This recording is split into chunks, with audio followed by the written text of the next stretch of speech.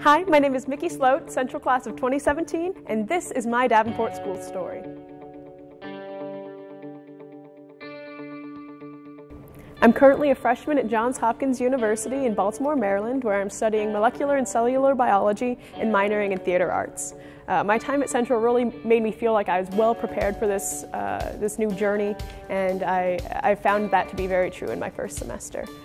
Ever since I started at Central, the incredible support, the, the teachers, the staff really are willing to help you in any way that's necessary, whether that is starting a new program, whether that is um, you know extra support, whether that's writing letters of recommendation. Um, they're, they're really willing to go beyond, uh, above and beyond to help you. I also felt very well prepared from my AP courses, uh, which allowed me to really delve deep into topics that would be covered in my freshman year in, in gen eds and things like that. I think what sets us apart from a lot of other students that I've encountered at, at my university is that our AP teachers actually care about, about um, your success in that class, not just in the class or on the test, but in, in the rest of your life.